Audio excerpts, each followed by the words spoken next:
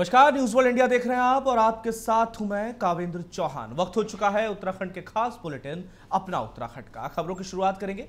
देहरादून से आ रही इस खबर के साथ, जहाँ शारदीय नवरात्र की नवमी के मौके पर गुरुवार को उत्तराखंड के मुख्यमंत्री पुष्कर सिंह धामी ने मुख्यमंत्री आवास पर कन्या पूजन किया है। इस दौरान उन्होंने नौ दुर्गा के प्रतीक नौ कन्याओं को भोजन कराया। वहीं मुख्यमंत्री पुष्कर सिंह धामी ने इसकी जानकारी ट्वीट करके दी है। तो तस्वीरों में आप देख सकते हैं, देहरादून में सीएम धामी ने अपने आवास पर कन्याओं को भोजन कराया है। नवमी के मौके पर सीएम धामी के आवास पर एक कार्यक्रम का आयोजन किया गया था, जहाँ पर उन्होंने विधि विधान से पूजी पूजा अर्चना की और इसके साथ ही आई कन्याओं को भोजन कराया।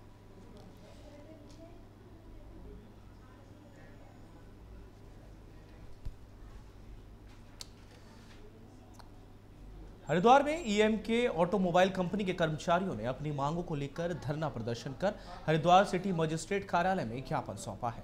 कंपनी कर्मचारियों का आरोप है कि पिछले दो महीनों से उन्हें वेतन नहीं मिला और कंपनी प्रबंधन की तरफ़ से उन्हें सिर्फ़ झूठा आश्वासन ही दिया गया, जिससे अब उनके सामने रोजी रोटी का संकट खड़ा हो गया है।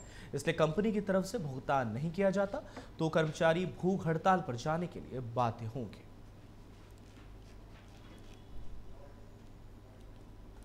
सर, हमारा दो महीने का वेतन नहीं मिला। ये तीसरा महीना में भी आधे दिन निकल चुके हैं। लेकिन अभी तक इन्हों ना हमारा कोई प्रशासन साथ दे रहा, ना कोई साथ दे रहा। हमने कोर्ट केस भी करके देख लिया। लेकिन सर, हमारे पास इतना बजट नहीं है कि जो हम तीन चार महीने तक घर पे बैठ के अपना काम चला लेंगे। सर, हमारे एक एक पैसे के लिए मोहताज हो चुके हैं हम। और किसी भी मैनेजमेंट को कॉल कर रहे हैं वो कॉल नहीं उठा रहा हमारी। आपके सामने मैंने अभी मैनेजमेंट को कॉल सर, ये E M K automobiles company है, पुराना स्टैंड एरिया एफ़ पैंतीस। और ये सर बाई हीरो की वेंडर है। लेकिन अब जो मैनेजमेंट है, वहाँ का, हमारे पहले बात दो महीने का वेतन रोक रखा है इन्होंने। तीसरा महीना ही हमारा चालू हो गया। लेकिन तेईस तारीख से हम हड़ताल में बैठे, कोई भी नहीं आ गया हमारा ये हालचाल पूछ रहा कि भाई, ये तुम्हारा ना कोई आश्वासन दिया जा रहा कि इतनी तारीख को कर देंगे, इतनी तारीख को कर देंगे। बस पिछले महीने से ग्यारह तारीख, सात तारीख से हमें समय पर समय दिया जा रहा। उत्तरकाशी के जिलाधिकारी मयूर दीक्षित ने जल जीवन मिशन की समीक्षा करते हुए कार्यों में तेज़ी लाने के निर्देश जल निगम और जल संस्थान के अधिशासी अभियंताओं को दिए। जो काम पूरी तरह से हो चुके हैं, उनकी जियो टैगिंग करते हुए ऑनलाइन एंट्री करने के साथ ही सत्यापन करने के निर्देश भी दिए गए। जल जीवन मिशन के अंतर्गत पेयजल कार्यों को लेकर संबंधित अधिकारियों के उत्तरदायित्व निर्धारित किए गए हैं। इसी के साथ ही ज़िले की स्वास्थ्य इकाइयों में पेयजल संयोजन को लेकर सीएमओ को प्रमाण पत्र देने के भी निर्देश दिए गए। तो उत्तरकाशी से तस्वीर आप देख रहे हैं, जहाँ डीएम ने जल जीवन मिशन की समीक्षा की है। समीक्षा के साथ ही सीएमओ को प्रमाण पत्र देने के निर्देश दिए गए हैं। इसके साथ ही पूरी समीक्षा बैठक में उन्होंने सभी अधिकारियों को ज़रूरी दिशा निर्देश भी दिए हैं।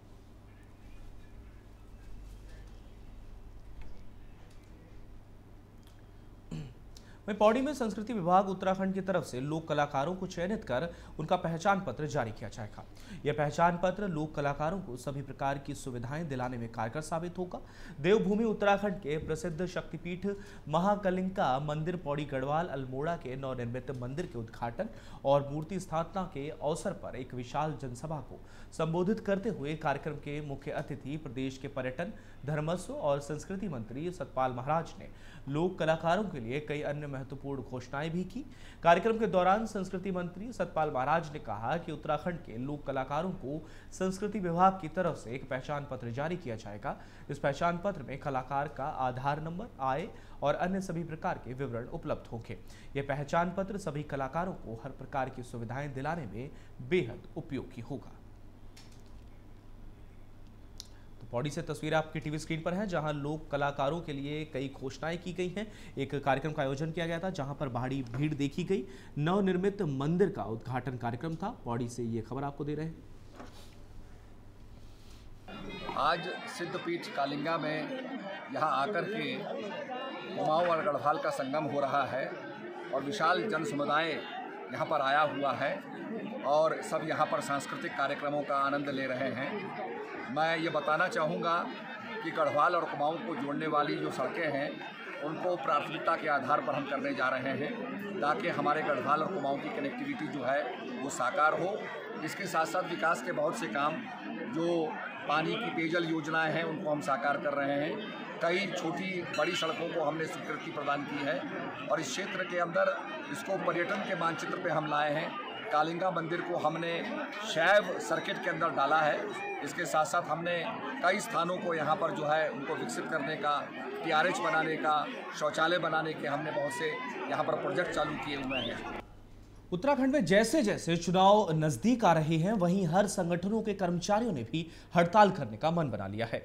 इसी कड़ी में नैनीताल में भी उत्तराखंड के पेयजल आउटसोर्स कर्मचारियों ने पाँच सूत्रीय मांग को लेकर हड़ताल शुरू कर दी। भीमतल मुख्यालय और नैनीताल समेत कर्मचारी काम का बहिष्कार कर धरना करने बैठ गए। मंडलीय सलाहकार सितम वाल्मीकि ने कहा, जब तक कर्मचारियों की मांग पूरी नहीं होती, आंदोलन यूँ ही जारी रहेगा। तो नैनीताल से तस्वीर आपको दिखा रहे हैं, जहाँ पेयजल कर्मचारियों ने धरना प्रदर्शन किया है। साथ ही उन्होंने कार्य का बहिष्कार भी किया है। उन्होंने कहा है कि जब तक उनकी मांगे पूरी नहीं होती, तब तक ये आंदोलन जारी रहेगा। तो नैनीताल से खबर आपको दे रहे हैं, जहाँ पाँच सूत्रीय मांगों को लेकर पेयजल कर्मचारी अब धरना प्रदर्शन कर रहे हैं। इनकी पाँच सूत्रीय मांगे हैं, जिसको लेकर कहा गया है कि अगर मांगे सरकार द्वारा नहीं मानी जाती तो यह आंदोलन यूँ ही जारी रहेगा।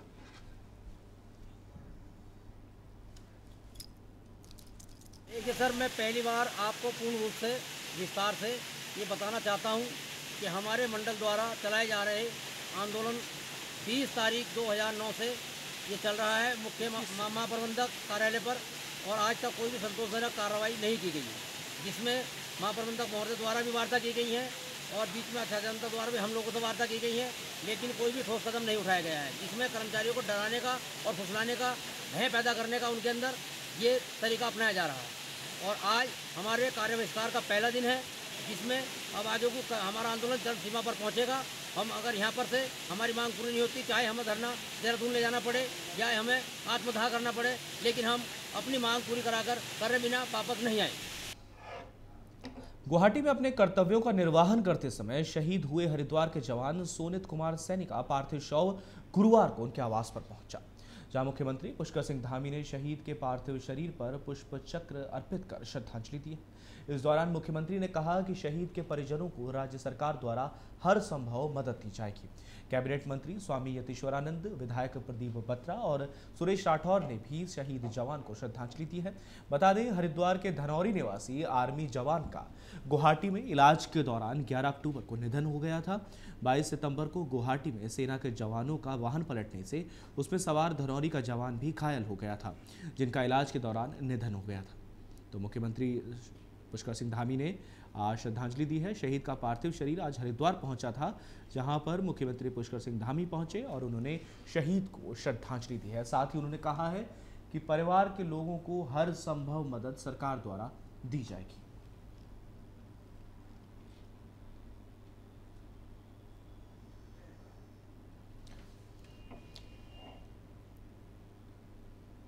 हरिद्वार के सिडकुल में उस वक्त हड़कम मच गया जब सिडकुल स्थित रैपिड कंपनी में भीषण आग लग गई। आग लगने के कारणों का अभी तक कोई पता नहीं चल पाया है। बता दें, आग इतनी भीषण थी कि आग लगने से आसपास के क्षेत्र में दहशत का माहौल बन गया। मौके पर पहुँची अग्निशमन विभाग की गाड़ियों ने आग पर किसी तरह से काबू पाया। तो हरिद्वार का ये पूरा मामला है, जहाँ पर रैपिड कंपनी में भीषण आग लग गई। आग की लपटें ज़ोर ज़ोर से बिल्डिंग में नज़र आने लगी, जिसके बाद फायर ब्रिगेड की टीम मौके पर पहुँची और कड़ी मशक्कत के बाद फायर ब्रिगेड की टीम ने आग पर काबू पा लिया। तो ये तस्वीर आप देख सकते हैं, हरिद्वार की तस्वीरें हैं, जहाँ पर एक रैपिड कंपनी में भीषण आग लग गई थी, जिसके बाद फायर ब्रिगेड की टीम मौके पर पहुँची और कड़ी मशक्कत के बाद आग पर काबू पाया जा सका।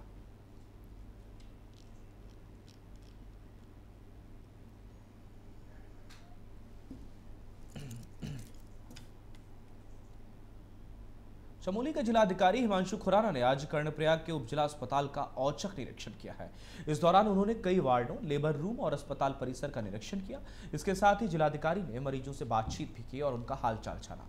इस दौरान जिलाधिकारी ने बताया कि मरीजों से पता चला है कि अस्पताल में मरीजों का उपचार अच्छे से हो रहा है। उन्होंने कहा कि अस्पताल में भीड़भाड़ होने के कारण साफ़ सफ़ाई की व्यवस्था ठीक नहीं है, जिसको लेकर अस्पताल प्रबंधन को निर्देशित कर दिया गया है। तो चमोली में आज जिलाधिकारी ने निरीक्षण किया है, जिसके साथ उन्होंने मरीजों से भी बातचीत की। इसके साथ ही वहाँ मौजूद चिकित्सकों से भी बातचीत की। सभी हालचाल जाने, जिसके बाद जिलाधिकारी का कहना है कि उन्होंने प्रबंधन को ज़रूरी दिशा निर्देश भी दिए हैं।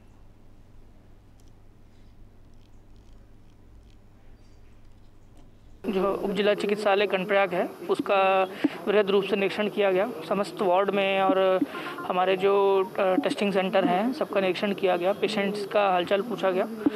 एक इशू जो हमारे संज्ञान में है, थोड़ा साफ़ सफ़ाई दुरुस्त करने की आवश्यकता है, क्योंकि भीड़ थोड़ी ज़्यादा है तो गंदगी थोड़ी हो जा रही है, उसको करने की ज़रूरत है। लेकिन ओवरऑल पेशेंट्स का जो रिस्पॉन्स था, वो अच्छा था कि जो इलाज, आवश्यक इलाज है, वो मिल रहा है। और किसी को अगर किसी कमी की हमें संज्ञान में आया तो हमें तुरंत तुरंत हमने निर्देश दिए कि उसको दुरुस्त किया जाए।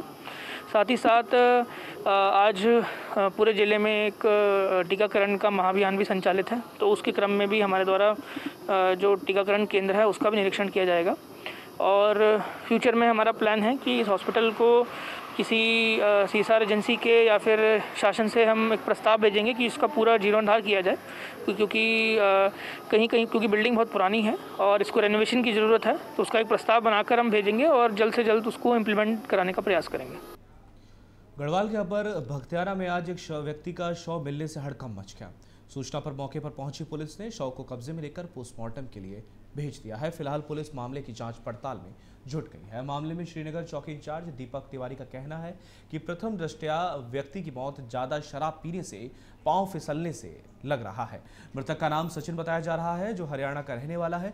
दीपक तिवारी ने बताया कि मृतक की उम्र करीब 40 साल के आसपास है।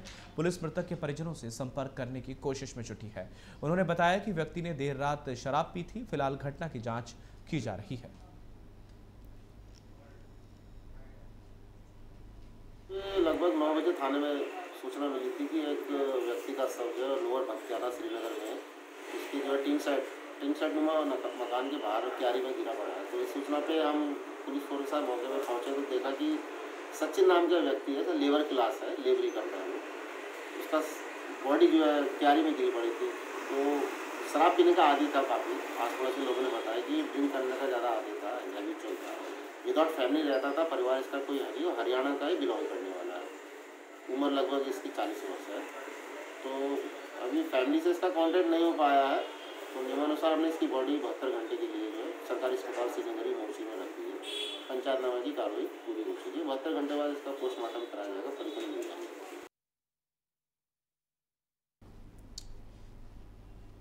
वहीं ऋषिकेश में रायवाला जंक्शन के पास एक युवक ट्रेन से गिरकर गंभीर रूप से घायल हो गया।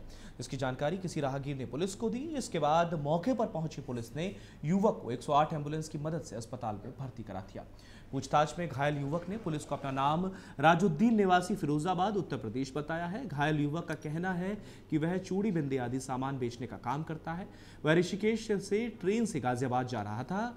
उसके पास टिकट नहीं था। उसने टीटी से टिकट बनाने का अनुरोध किया, लेकिन टीटी ने उसे ट्रेन से बाहर धक्का मार दिया, जिससे वह ट्रेन से गिरकर घायल हो गया। मामले में पुलिस ने बताया कि जीआरपी को घटना की सूचना दी गई और जीआरपी जाँच के बाद ही घटना की सही वजह को बता सकेगी।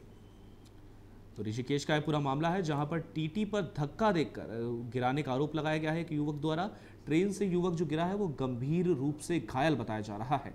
ट्रेन से युवक गिरा, जिसकी तस्वीरें भी आप देख सकते हैं, जिसके बाद वो गंभीर उसकी स्थिति हो गई उसने सीधे तौर पर टीटी पर आरोप लगाया। उसने कहा है कि टीटी ने उनको ट्रेन से धक्का देकर नीचे गिरा दिया जिसके चलते वो गंभीर रूप से घायल हो गया।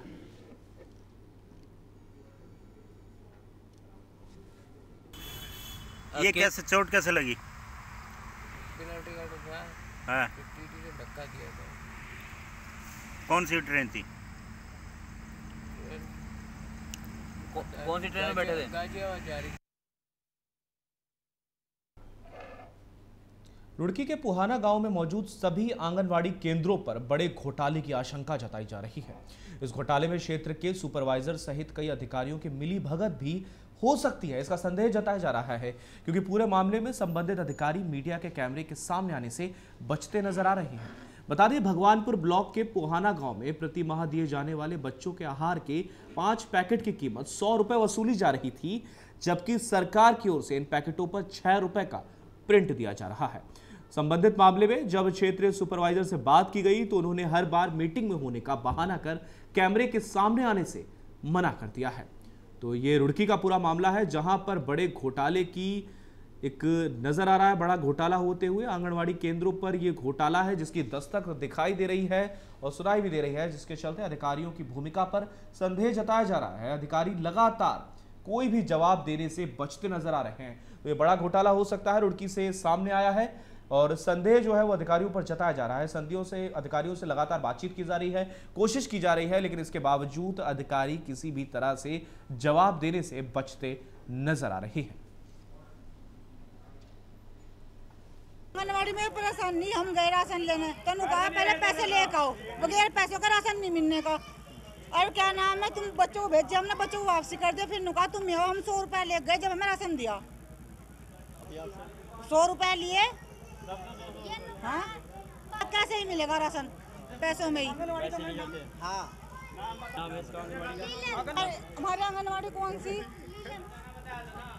इसकी नीलम है नीलम है। हाँ ये है। और ले रही थी खो हम ले नहीं गए राशन। हम ना ले गए हम ना। क्या कहा आपको? नु कहा पचास रुपया ले आ और ले जा। सरकार ने दे रखा ऊपर तो ही। अच्छा पहले आपको लेनी पड़ेगी इसके बाद पैसे दिए जाएँगे। सामान दिया जाएगा। पहले हाँ पैसे दे दे और पाँच ये ले जा और वो ले जा। कितने का दिया जा रहा है पचास रुपए में पाँच।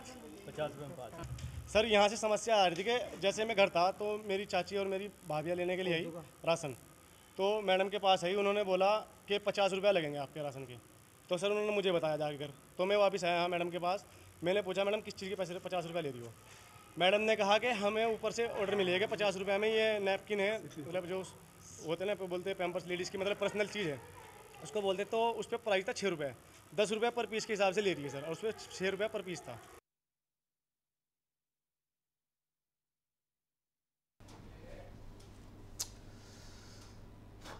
आपदा न्यूनीकरण दिवस के अवसर पर जिलाधिकारी मयूर दीक्षित ने उत्तरकाशी आपदा प्रबंधन, जनमंच स्वैच्छिक संगठनों व स्वयं सेवकों द्वारा कोविड 19 जन जागरूकता रैली को कोविड शपथ दिलाकर रवाना किया है।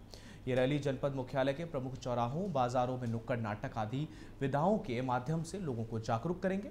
इस दौरान मतदाताओं को जागरूक करने के उद्देश्य से निर्वाचन कार्यालय द्वारा स्वीप रैली भी निकाली गई।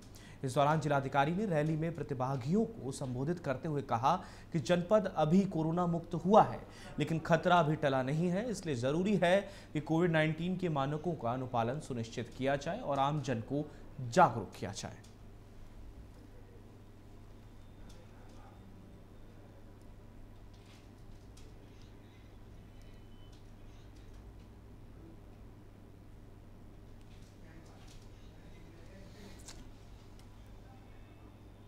Bollywood music director Shantanu Moitra की गंगोत्री से गंगा सागर तक साइकिल यात्रा के दौरान बन रही डॉक्यूमेंट्री सॉन्ग ऑफ़ रिवर में बॉलीवुड के प्लेबैक सिंगर मोहित चौहान के साथ उत्तरकाशी के कलाकार भी नज़र आएँगे।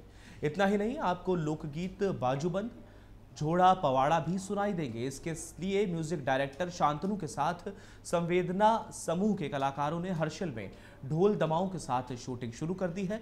वहीं बॉलीवुड के म्यूज़िक डायरेक्टर और सिंगर के साथ काम करने पर स्थानीय कलाकारों में भी काफ़ी उत्साह नज़र आ रहा है। बता दें कि म्यूज़िक डायरेक्टर शांतनु मोहित्रा ने बीती 10 अक्टूबर को गंगोत्री से गंगा सागर तक साइकिल यात्रा शुरू की है। इस यात्रा के दौरान वो गंगा और गंगा के किनारे रहने वाली संस्कृति और परंपरा पर सॉन्ग ऑफ़ रिवर की थीम के साथ डिज्नी हॉटस्टार के लिए म्यूजिकल डॉक्यूमेंट्री तैयार कर रहे हैं।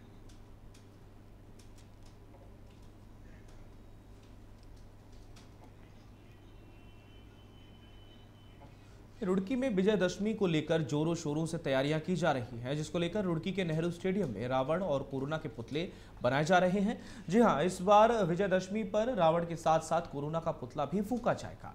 इसकी तैयारियाँ पिछले पंद्रह दिनों से चल रही हैं। इसके लिए उत्तर प्रदेश से बुलाए गए कारीगर काम में लगे हैं। बता दें, इस बार कोरोना ने लाखों लोगों की जिंदगियाँ छीन ली थी, जिसको लेकर इस बार कोरोना का भी पुतला दहन करने का निर्णय लिया गया। ताकि इस दशहरे के बाद कोरोना देश और दुनिया से पूरी तरह से निस्तानाबूद हो जाए। कल होने वाले दशहरे में रावण का 70 फीट ऊँचा पुतला बनाया गया है, जबकि कोरोना का 55 फुट ऊँचा पुतला बनाया जा रहा है। तो इस बार रुड़की में रावण के साथ ही कोरोना का पुतला भी दहन किया जाएगा। और इसके साथ ही ये मनोकामना की जाएगी कि अब इस देश से और साथ ही साथ उत्तराखंड प्रदेश से अब कोरोना पूरी तरह से चला जाए।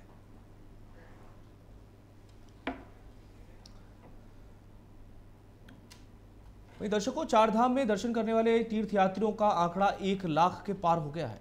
बद्रीनाथ केदारनाथ गंगोत्री व यमुनोत्री धाम में प्रतिदिन यात्रियों की संख्या की बाध्यता हटने के बाद चार धाम की यात्रा रफ्तार पकड़ रही है। उत्तराखंड देवस्थानम प्रबंधन बोर्ड के मुताबिक बुधवार को चारों धामों में सात हज़ार आठ सौ छिहत्तर यात्रियों ने दर्शन किए जिसमें बद्रीनाथ धाम में सबसे अधिक 2,418 यात्रियों ने दर्शन किए हैं। कुल मिलाकर अब तक चारों धामों में एक लाख तीन हज़ार आठ सौ साठ यात्री दर्शन कर चुके हैं। केदारनाथ में प्रतिदिन दर्शनार्थियों की संख्या बढ़ने से केदारपुरी बाबा के जयकारों से गूंज रही है। साथ ही सायकालीन आरती में भी काफ़ी संख्या में श्रद्धालु शामिल हो रहे हैं। बता दें, बीते पाँच अक्टूबर को ई पास की बाध्यता खत्म की गई थी, जिसके बाद से धाम में प्रतिदिन शिव भक्तों की संख्या बढ़ रही है। बुधवार को केदारनाथ में शाम तक 4000 से अधिक शिव भक्त दर्शन कर चुके थे। वहीं शाम की आरती में भी 1500 से अधिक श्रद्धालु शामिल हुए। यात्रा प्रभारी युद्धवीर सिंह पुष्पवाण ने बताया कि बीते 18 सितंबर से अभी तक अड़तालीस हज़ार से अधिक केदारनाथ में बाबा के दर्शन यात्री कर चुके हैं।